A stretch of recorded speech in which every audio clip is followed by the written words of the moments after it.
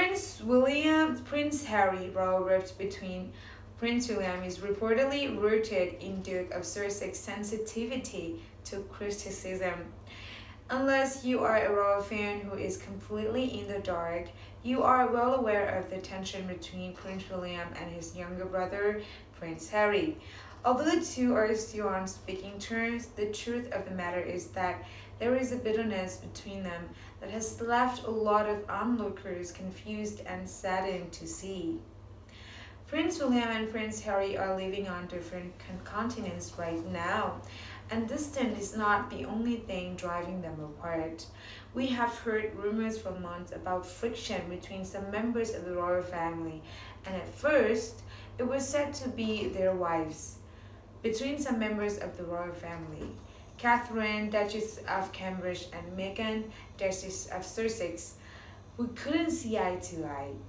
Everyone soon found out, however, that the real feud wasn't between the duchesses Instead, it was Prince Harry and Prince William, who were once so close, now involved in some sort of disagreement. Let's talk about how Prince Harry's royal rift with Prince William is reportedly rooted in the Duke of Sussex's sensitivity to criticism.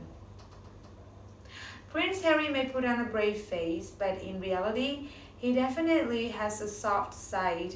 We have seen this on many occasions, such as when he talks lovingly of his late mother, Princess Diana, or when he felt compelled on more than one occasion to come to the defense of his wife, Meghan, when she was being bullied by the British tabloids.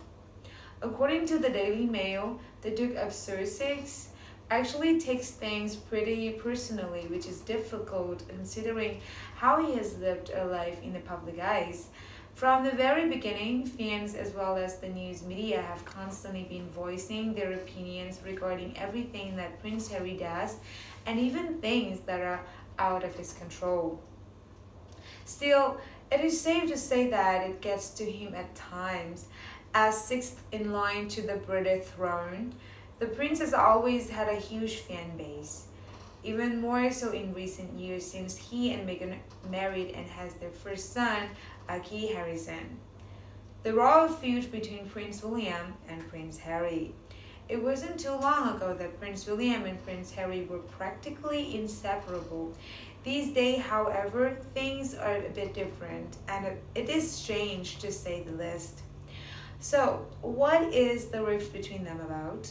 According to The Sun, the once close brothers had a falling out a few years ago, and things haven't been the same since.